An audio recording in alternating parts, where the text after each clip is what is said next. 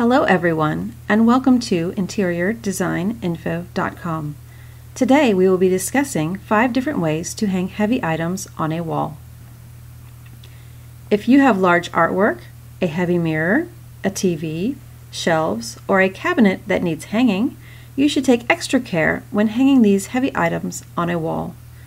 Make sure to account for not only the weight of the object you are hanging, but any additional weight that will be added such as books to a bookcase or dishes to a kitchen cabinet. Here are five ways to hang heavy items on a wall to ensure they stay on the wall.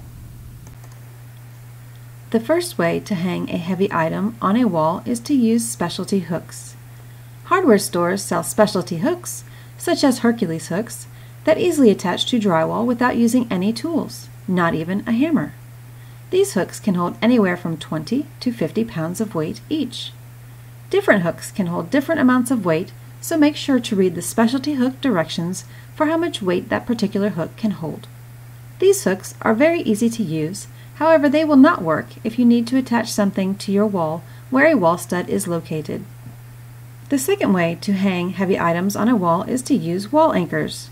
Traditional wall anchors are little plastic tubes that go into your wall before you use a screw to hang your heavy object. You will need to drill a hole in your wall then hammer the wall anchor into the wall and insert the screw into the wall anchor.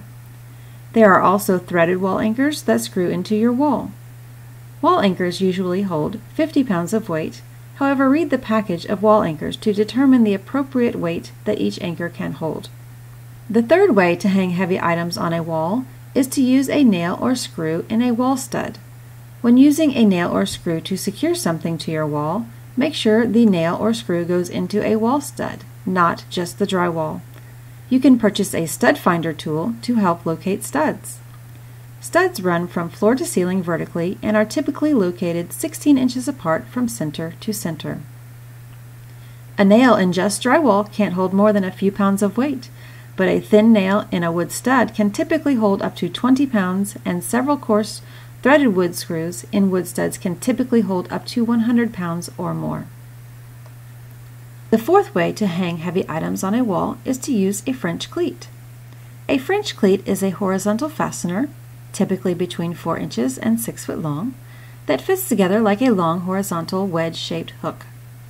One part of the French cleat is attached to the wall pointing upward, and the other part is attached to the item to be hung on the wall pointing downward. Once the heavy item is hung on the wall, the French cleat is often screwed together from the underside or the top. You can make your own French cleat out of wood or purchase one out of metal.